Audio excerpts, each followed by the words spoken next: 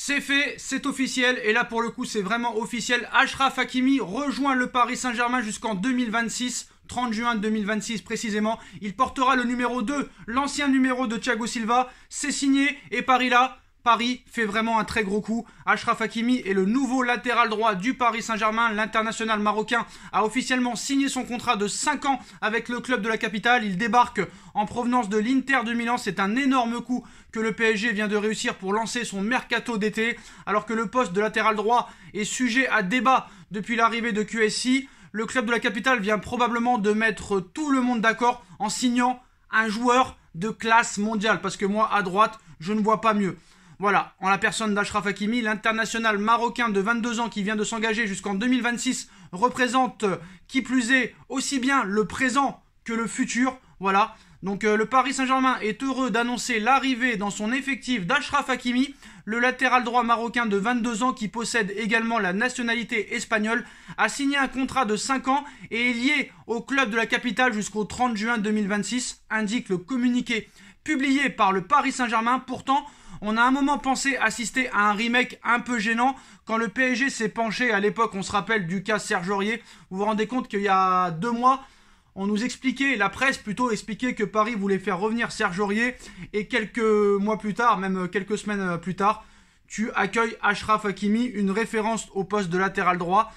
Donc euh, voilà, c'est une très bonne nouvelle. 60 millions d'euros, le juste prix. Hein. Finalement, le marché a renversé la table et a offert une merveille opportunité à Paris. Dans la foulée d'un scudetto historique avec l'Inter de Milan, dans une situation financière catastrophique, le club italien s'est vu obligé de se séparer de ses meilleurs éléments pour rassembler un total euh, de 100 millions d'euros. Antonio Conte a quitté le navire euh, le premier. Hakimi fait donc de même.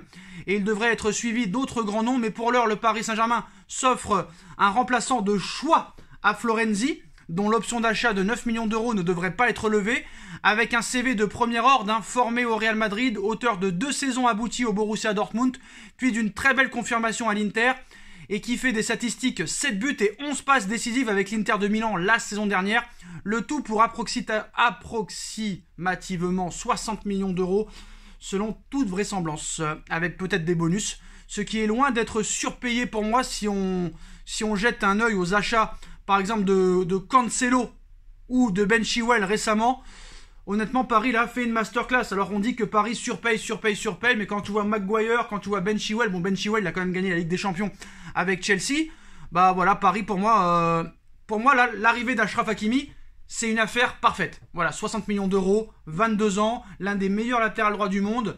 Il peut jouer dans plusieurs systèmes, comme l'a dit Lucien Favre, son ancien coach au Borussia Dortmund. 4-2-3-1, 4-3-3, 5-3-2, 3-5-2. Donc euh, voilà, c'est une très bonne nouvelle. Ashraf Hakimi a déjà tenu à réagir à son arrivée au Paris Saint-Germain, pareil que Nasser. Hein. On a vu avec la photo avec Leonardo. Donc Ashraf Hakimi sur son arrivée au Paris Saint-Germain cite Je ressens beaucoup de fierté, le PSG m'offre l'opportunité de découvrir un nouveau championnat sous les couleurs d'un des clubs les plus prestigieux du monde. J'ai hâte de rencontrer mes coéquipiers, les fans et ressentir la, la ferveur extraordinaire du Parc des Princes. Donc ça s'annonce du très très lourd les postaux. On espère que les supporters reviendront au Parc des Princes. Al Relaifi a tenu aussi, président du PSG, un Nasser Al Relaifi a tenu à réagir après la signature d'Ashraf Hakimi en citant La signature d'un joueur de cette envergure montre le niveau de nos ambitions. Ashraf Hakimi n'a que 22 ans, mais il s'est déjà imposé comme l'un des meilleurs. C'est le standard que nous nous fixons au club. Je sais qu'Ashraf aura une carrière fantastique avec nous. Donc voilà, un contrat jusqu'en 2026. Les discussions avaient commencé le 29 mai dernier. Rappelez-vous de la vidéo que j'avais fait le 29 mai dernier en annonçant Ashraf Hakimi au Paris Saint-Germain. Euh, voilà, on a été beaucoup insultés, mais un mois, un mois et une semaine plus tard, Ashraf Hakimi est bien au Paris Saint-Germain. Donc c'est bien parce qu'on m'a insulté sur Viginaldoum euh, 3-4 jours avant qu'il signe en disant il est promis au Barça, tu dis n'importe quoi et à l'arrivée Viginaldoum a signé officiellement au Paris Saint-Germain. Le 29 mai je sortais une vidéo en annonçant Ashraf Hakimi au Paris Saint-Germain. Cinq semaines plus tard, il est bien au Paris Saint-Germain. Pareil pour Sergio Ramos qui sera normalement parisien demain ou après-demain. En attendant peut-être Pogba, Messi, Correa. En tout cas, ce mercato d'été annonce du très très lourd du côté du Paris Saint-Germain qui a vraiment la prétention l'année prochaine de gagner la Ligue des Champions. Et ce que j'aime bien avec ce mercato parisien, c'est que c'est un mercato intelligent à chaque poste. C'est pas comme en 2017 où tu achètes Mbappé, Neymar pour 402 millions d'euros, deux attaquants. Alors que là, tu vises une colonne vertébrale. Vignaldoum au milieu de terrain, Hakimi à droite, Ramos dans l'axe, peut-être Correa devant, peut-être Pogba au milieu. Et là, c'est intéressant. En plus de Donnarumma qui vient concurrencer Navas, là, on a une équipe de fous les postaux qui va continuer à se développer. Bien sûr, bien sûr, il faudra vendre. Alors Paris attend 200 millions d'euros de vente. Faut quand même pas exagérer, mais je pense que 100 millions c'est possible. Si tu te sépares de Herrera, Dagba, Kerrer, Kurzawa, peut-être d'autres joueurs comme peut-être Rafinha, même si je pense qu'il devrait rester et peut-être d'autres joueurs du centre de formation comme Pembele ou peut-être Kalimwendo, je pense que peut-être tu peux arriver à ce chiffre de 100 millions d'euros. En tout cas, Paris vient de passer un cap. Je pense que le mercato est intelligent. Du côté des arrivées, bah, Leonardo est en train de faire une masterclass comme il a l'habitude de faire. On sait que Mauro Icardi aussi pourrait être vendu. Sarabia pourrait être échangé en lieu et place de Correa. Mais on refera une vidéo tranquillement ce soir ou demain. Ça chauffe pour certaines recrues. La crise au FC Barcelone aussi l'histoire Griezmann-Dembélé bah, pourrait faire encore plus de mal financièrement au Barça, alors que déjà il est très très très mal. On en reviendra ce soir. Mais en tout cas, les postos, voilà, le dossier Messi continue, le dossier Pogba continue. Mais voilà, en tout cas, on est heureux d'accueillir Ashraf Hakimi au Paris Saint-Germain. En plus, du côté de Doha, c'était très important, juste avant la Coupe du Monde au Qatar, d'amener un joueur de leur origine, un joueur maghrébin. C'est ce qu'ils voulaient depuis le début. Hein. On se rappelle de Abdel Tarab qui n'était pas venu. Ben Arfa, ça a été un échec. Maintenant, Ashraf Hakimi, un joueur confirmé, et voilà, Doha lance un message aux autres.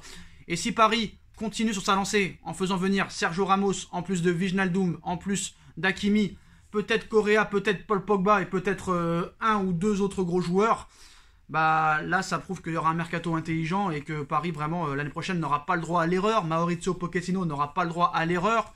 On verra le premier match contre Le Mans le 14 et contre Chambly le 17. Il va falloir qu'il se fixe vraiment une équipe type, une structure et aussi un système de jeu. Alors 4-2-3-1, 4-3-3, 3-4-3, 5-3-2, 3-5-2, il faudra choisir et il faudra qu'il se serve de cette préparation.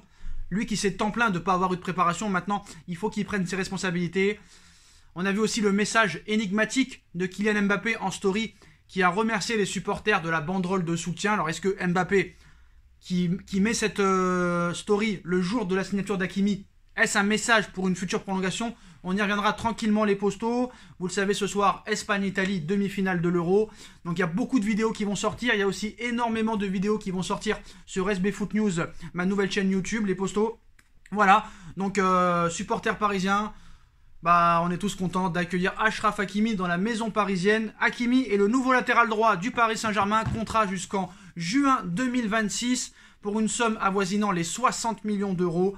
Voilà, bah moi en tout cas je suis très content et ça m'a refait ma journée et ça me remonte le moral. Voilà les postos, dites-moi en commentaire ce que vous pensez de l'officialisation et de l'arrivée d'Ashraf Hakimi au Paris Saint-Germain. Dites-moi en commentaire ce que vous en pensez. On like, on partage, on commente, on s'abonne, on active la petite cloche pour être tenu au courant des vidéos qui vont sortir. On me rejoint sur mon Instagram SB Foot News, 24 sur 24, 7 jours sur 7 sur l'actualité du football, du PSG, du Mercato et de tous les autres clubs européens. Ma cagnotte PayPal est disponible en lien en description si vous voulez faire évoluer la chaîne en donnant un petit don. SB Foot News, mon autre chaîne YouTube, 24 sur 24 aussi, vidéo à tout va sur le mercato. Et puis on se retrouve très très vite les postos pour une nouvelle vidéo. Bienvenue Ashraf, bienvenue Ashraf.